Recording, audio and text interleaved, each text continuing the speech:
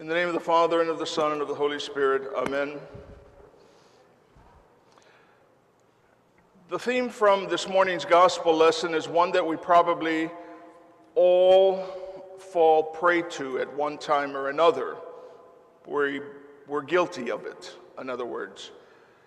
And Christ uses this parable today to address our tendency to make excuses for whether it be our conduct, our lifestyle, our attitude, our everyday existence. And the theme of this morning's gospel reading is one of excuses. There is a wise saying He who really wants to do something finds a way, he who doesn't finds an excuse. And I would think that all of us fall into that category at some time um, or another. We all know excuse makers, people who could accomplish much in this world if they were as creative at their tasks as they are at making excuses for not tackling their tasks in the first place. And this is the lesson if we wish to go home and read the gospel that's in your bulletin this morning and that we read during the Divine Liturgy. It is the Gospel from St. Matthew, referred to as the parable of the talents. And to recap, this is a bit of the story that we heard. A wealthy man was going on a journey, and before he left, he gave one of his servants five bags of gold. And this servant used his five bags and made five bags more, totaling ten. And his master was exceedingly pleased with him. The master gave another servant two bags of gold. And he also invested his gold wisely, and he earned two bags more for a total of four. But the third servant was given just one bag of gold. And this servant was fearful. So, what did he do? He hid the bag that he was given in the ground instead of investing it as his master had hoped.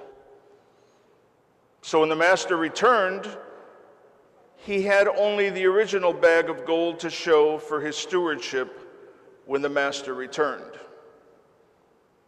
Now, listen to this man, this servant's reasoning or we can call excuse making.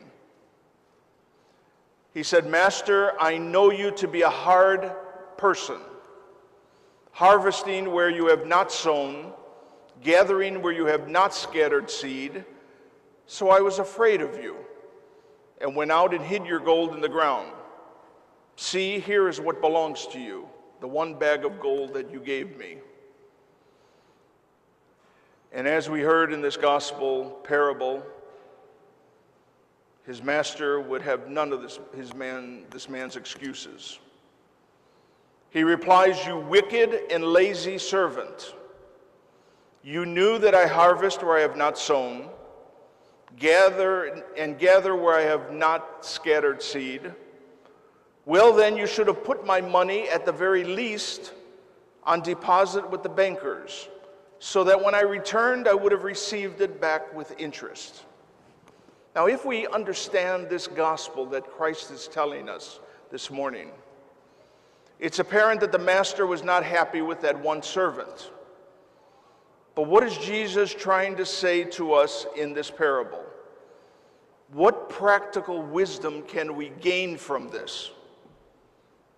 This probably is a good place to begin to try to clarify Jesus' position on this. Jesus is telling us that we alone are responsible for how we live our lives. And you and I are responsible alone for the choices we make in life. Now, that's not a very popular viewpoint nowadays.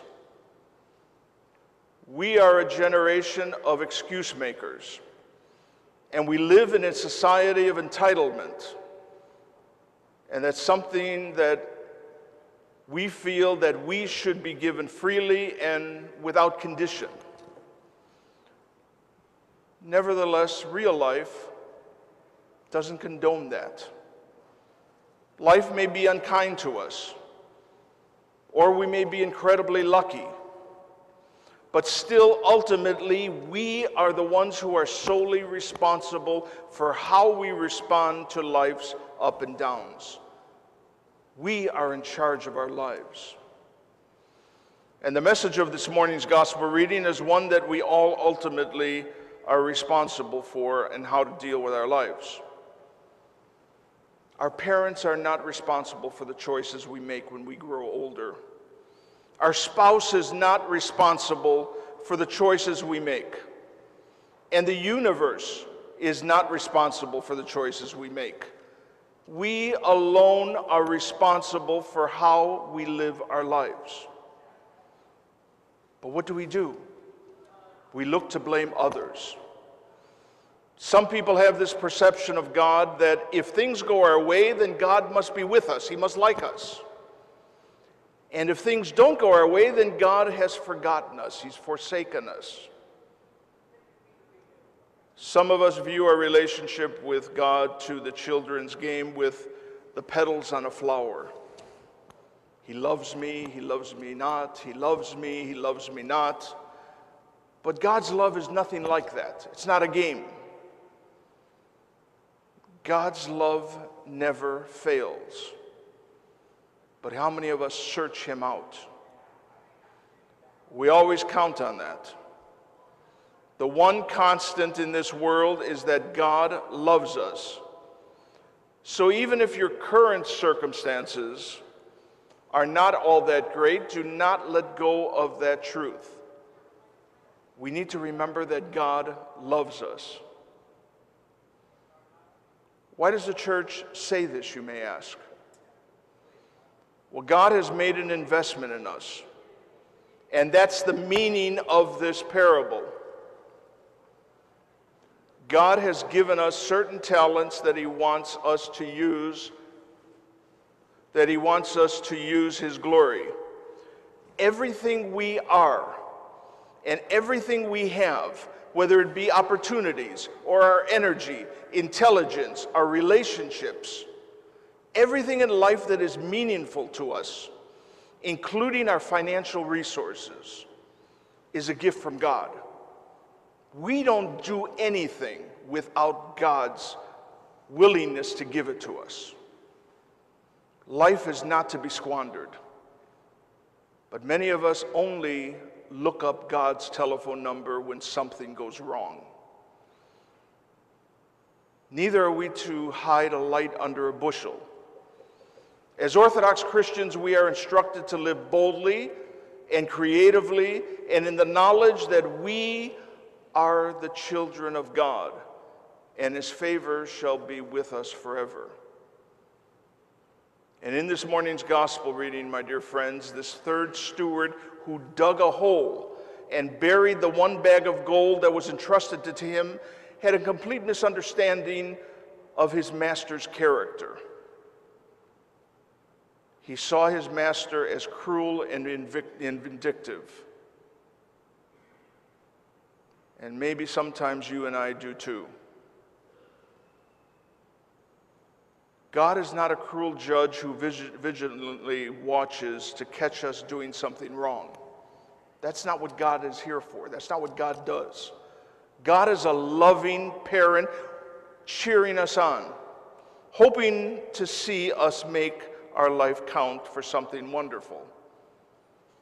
And finally, this brings us to just one more thing that I'd like to say this morning. Today is a good day to begin investing your life in something that will make a real difference. Whether you're young, middle aged, or elderly, today is a good day to begin investing your life in something that will make a real difference for your soul.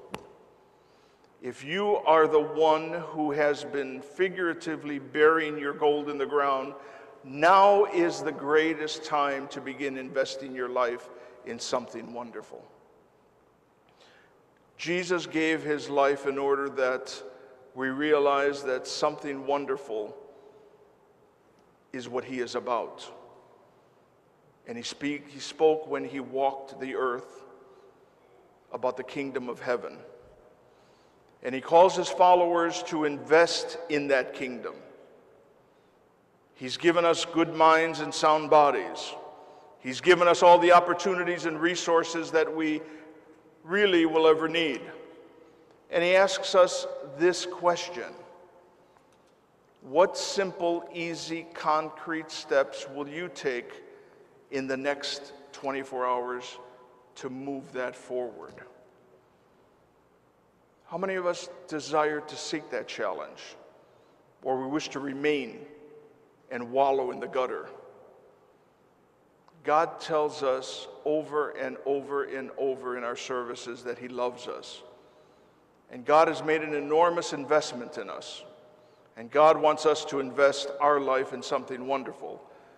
So, will we follow the path of that third servant who didn't do anything when his master told him, I want you to do something with the funds that I'm giving you?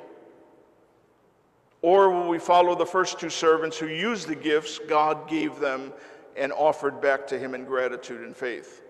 That, my dear friends, is the question before us today, and that's the theme of this morning's gospel reading.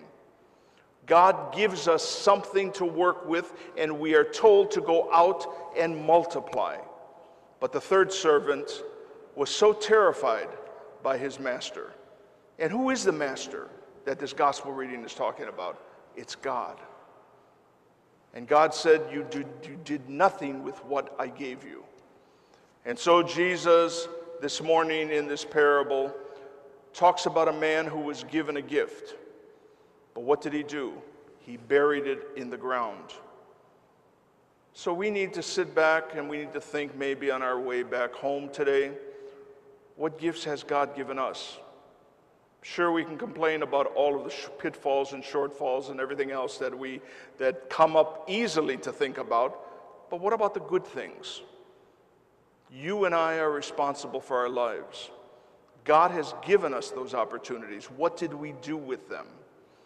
Circumstances rarely determine our destiny, but instead, character determines our destiny. So let's not look for excuses why we are not doing what God has called us to do. Because if we really think about it and look deep into our hearts, we'll understand that most of us can do better. And as our Bible passage told us this morning, the Master will be pleased if we do. Amen.